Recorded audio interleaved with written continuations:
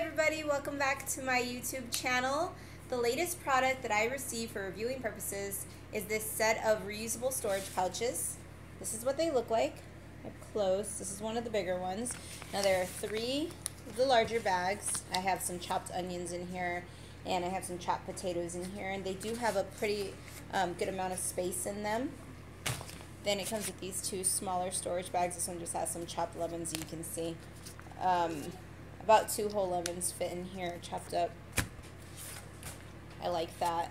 I love these bags because they are BPA free, which is important, I think, especially when you're storing food in them. They're travel friendly, food grade, and they're freezer safe, so you can also put food in them and store it in the freezer or fridge. They are very much like these uh, Ziploc type bags at the top, where you just have to squeeze the top to close it. This bag is wet because I just washed it, by the way, in case you're wondering.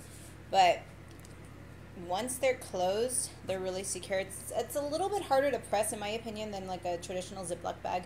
But, I mean, that's no big deal, really, you know. Once they are closed, like I said, they're really secure. They're leak proof. I like that. There's some water in there and it's not coming through. So I'm really happy about that. I like that. I don't want stuff leaking out into my fridge. Also, if you don't want to use these for food purposes, you can also use them for like makeup. Um, like it says they're travel friendly. So like say you want to store your makeup inside of one of these for when it goes through the you know the conveyor belt, um, then they can see everything that's inside. And you don't have to worry about these bags ripping, which is nice.